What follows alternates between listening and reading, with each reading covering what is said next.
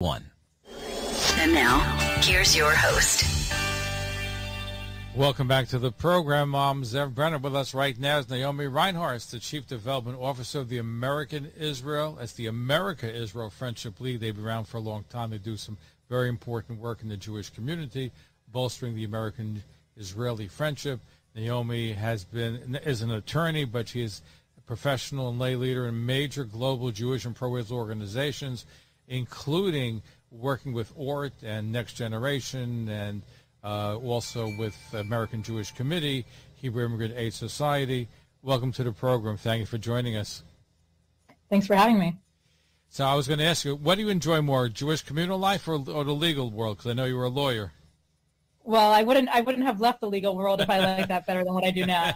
I find most lawyers like to do other things aside from law. I shouldn't say most, but a lot of lawyers tend to do that. I, people people like to call me a recovering attorney, but I, I say I've, I've fully recovered by now. So, well, Jewish organizations, but Jewish organizations have their own set of challenges, right? It's uh, we're blessed with so many different Jewish groups today. I know. I mean, you know, they say two Jews, three synagogues, or two Jews, three organizations. We like to create organizations. We like to each have our own niche in this world. And I think, you know, one of the great things about us is we're always creating and building and coming up with new important missions to, to work on behalf of. So American Israel Friendship has been around for a while, a long time, but I'm sure a lot of people may not be aware of the day-to-day operations. What are some of the things that you do? So let's share with our audience what the organization does. Yeah, we are a 51-year-old organization. We were founded in 1971. Um, we're quite small in terms of size and budget, but we accomplish a lot, I think, with very few resources. Um, our first ever program was something called YASE, Youth Ambassador Student Exchange, which still exists to this day and is actually um, going back to Israel this year after a two and a half year hiatus with COVID. Um, we send all sorts of groups of people to Israel throughout the year, from high school students to attorneys general and um, everything in between. Uh, we just completed a successful a delegation, for instance, of Hispanic leaders from around the U.S.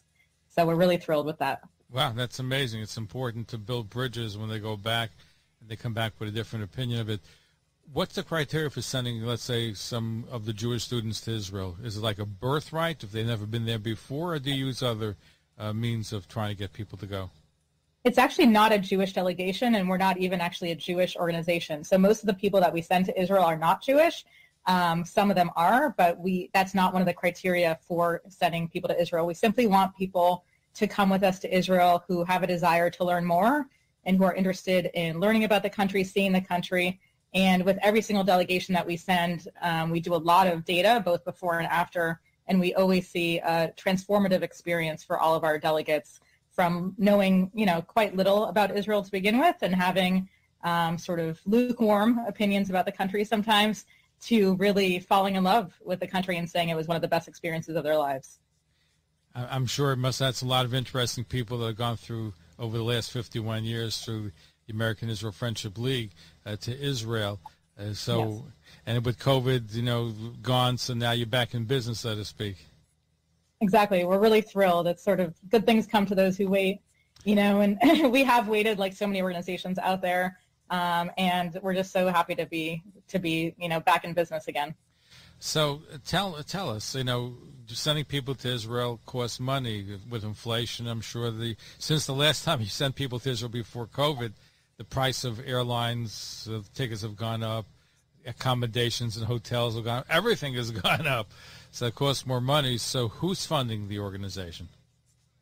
Um, of course, the prices are going up, unfortunately, but that, I guess such is life. So we do the best that we can. We try to keep costs to a minimum. We try to keep our budgets low and not spend, you know, on extravagant or unnecessary things. Every single delegation that we send, we tailor to the people that we're sending. No two delegations, no two trips are the same. Give us an example of what that means.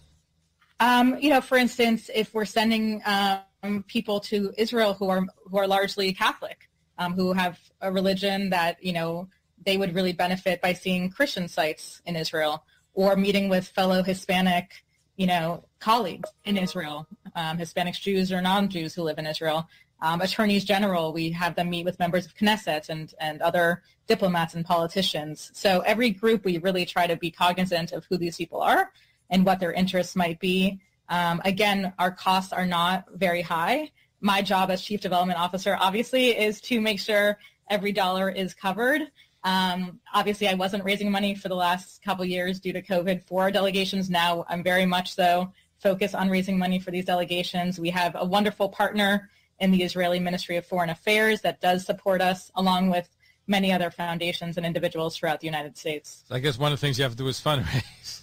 Of course, always fundraising. Always, right? Always, never, always, never, never, never stop, never stop fundraising. Right? No organization exists without constant fundraising. Every every nonprofit in the world needs to raise money. So you tell me, fundraising is you enjoy that more than being a lawyer. I love it. I'm I'm a rare person who actually loves raising money. I know it's weird, very strange, hey, but I, I love it. I don't get tired of it. Then when you've been with so many different Jewish groups, they're all looking for fundraisers. I get calls every day from organizations looking for fundraising. It's just and, and non-Jewish groups, everyone, everyone needs to raise money. And like you said, with costs going up around the world, it's it's more important than ever to be raising money. Now, speaking of fundraising, you have a fundraising event, uh, big gala coming up on November seventh. So tell us about November. Before you know, it, it's going to be November seventh. So it's not too early to start talking about it, right? I know. I feel like, you know, the day after our gala last year, we immediately started working on this year's gala. Um, it is a long-standing event. It's a wonderful event that I'm very honored and proud to be a part of. It's called the Partners for Democracy Awards Gala. Like you said, it's taking place Monday, November 7th, 6 p.m. at the Pierre Hotel in New York City. Um, it's a really beautiful, exciting, lovely event. We always have amazing honorees. We sell out the room, um, whether it's at the Plaza Hotel, at the Pierre Hotel, or wherever it may be. 2020 was the only time we did it fully virtual.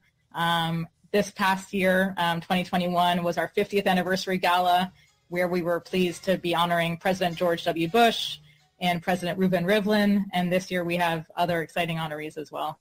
Oh, I was at the event with the President uh, Bush. It was a it was a really nice event. Thank you. I'm so glad you could join us.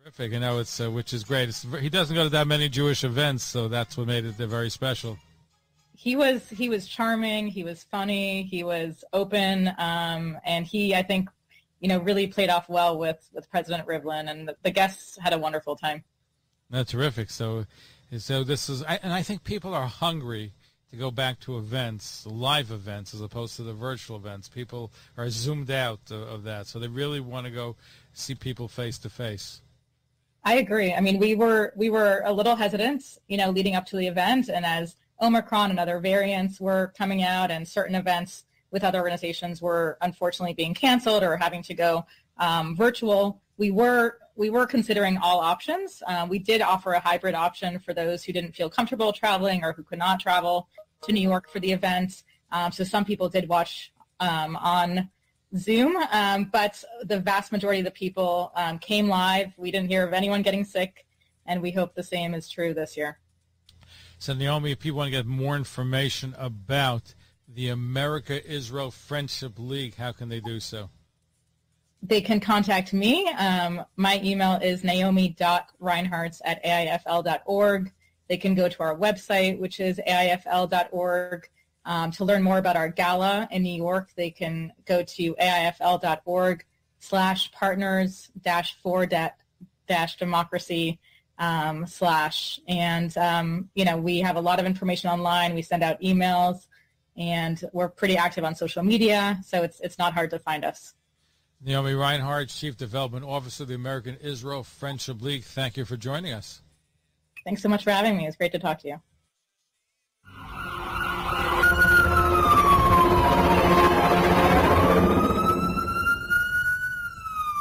My name is Jacob Abilevich.